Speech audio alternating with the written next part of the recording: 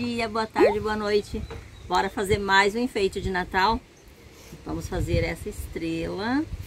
É uma flor, é uma estrela, enfim. Olha que lindo que fica no pinheiro. Esse pinheiro já está decorado com essas estrelas. Então, vamos fazer.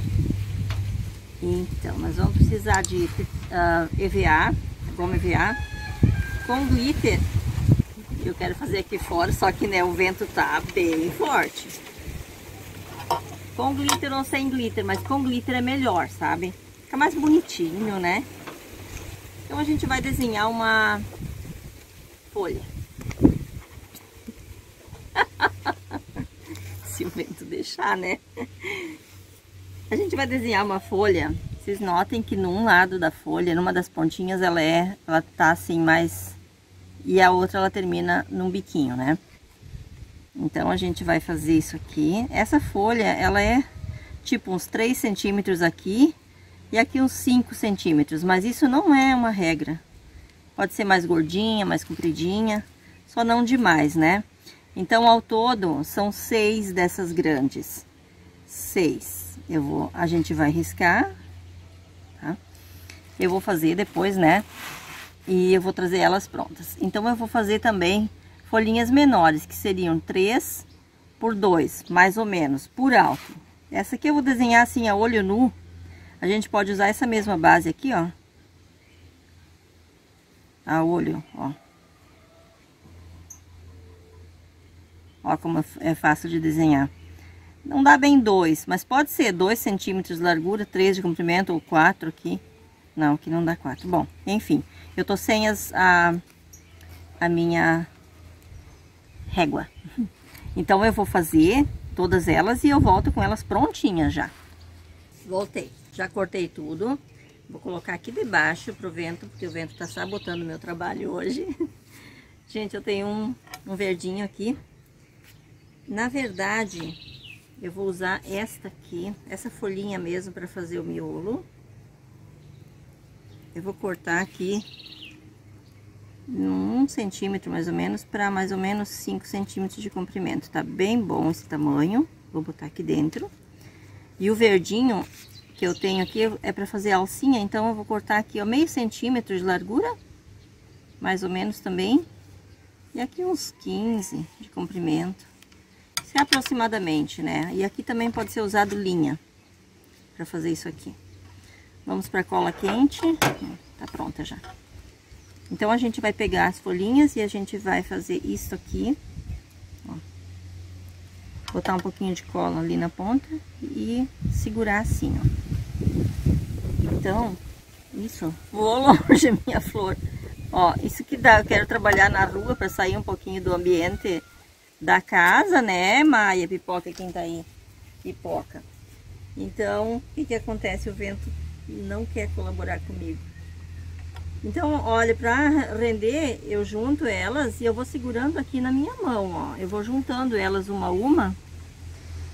Enquanto que ela vai secando bem, eu vou fazendo as outras, olha. Eu seguro tipo umas três ou quatro na mão. Isso quando a gente faz em larga escala, quando a gente quer enfeitar um pinheirinho grande como esse que tá atrás de mim, né?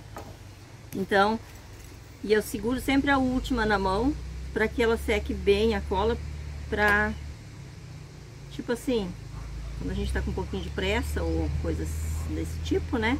Ó.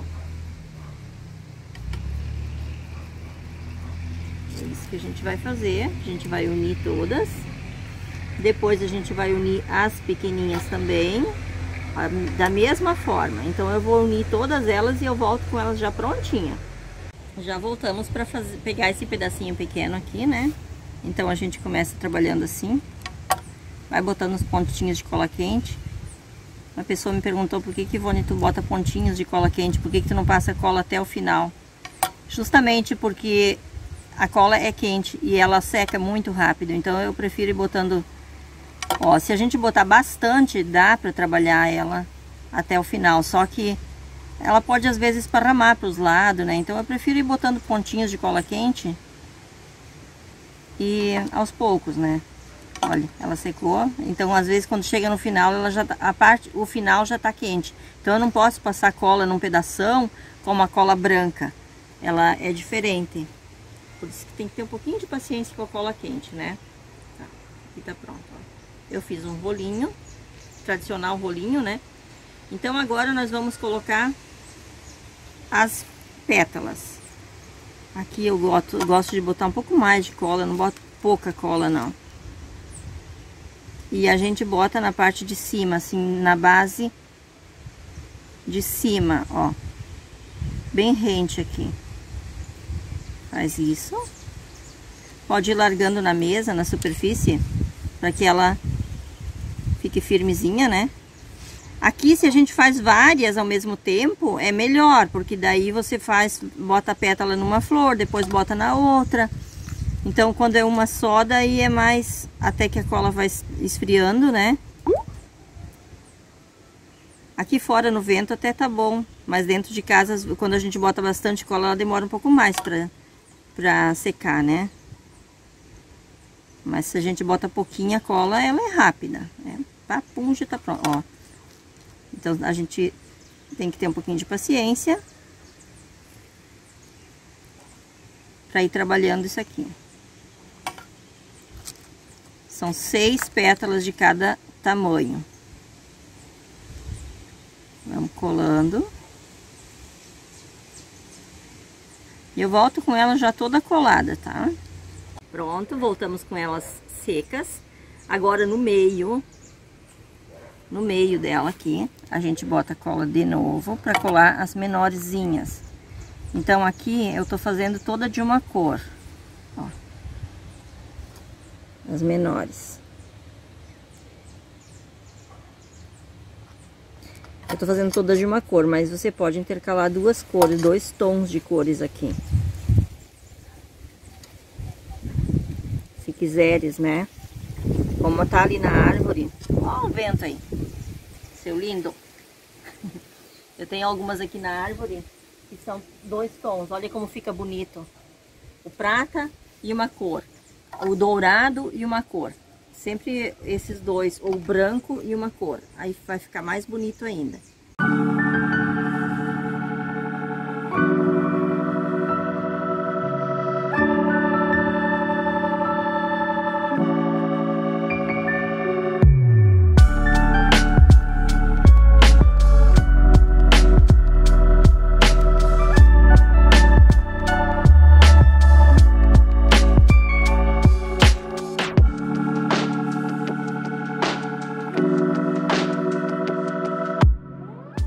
Então, enquanto essa aqui tá secando a cola, porque, ó, depois que tá pronto, colado todas as pétalas, eu passei um pouquinho só de cola aqui ao redor ainda, pra fixar bem. Então, agora eu vou unir as pontas dessa tirinha. Querida, o vento, tá? E o galo pedindo like, ó. E aqui, eu vou pegar uma das pétalas e vou unir. Mas pode ser diferente também. Vou mostrar depois. Faz isso aqui. Bota um pouquinho mais de cola ali e só unir ela um pouquinho. Tem que segurar, né? Pra ela secar bem. Pode ser assim.